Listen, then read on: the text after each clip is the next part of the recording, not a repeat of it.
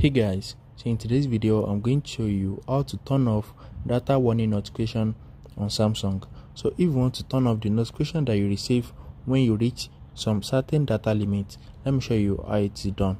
So the first thing is scroll up and open the settings app on your phone. After that click on connections. Once you click on connections you need to click on data usage.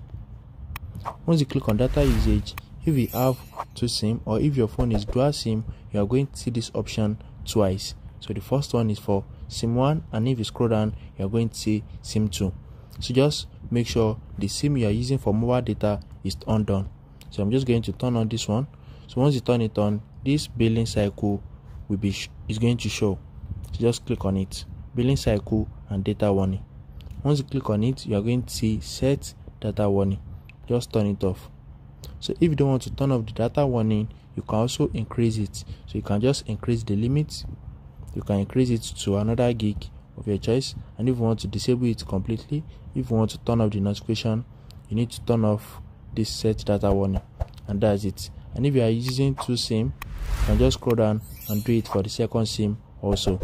If you found this video helpful smash the like button and subscribe to my channel for more amazing videos like this. Thanks for watching guys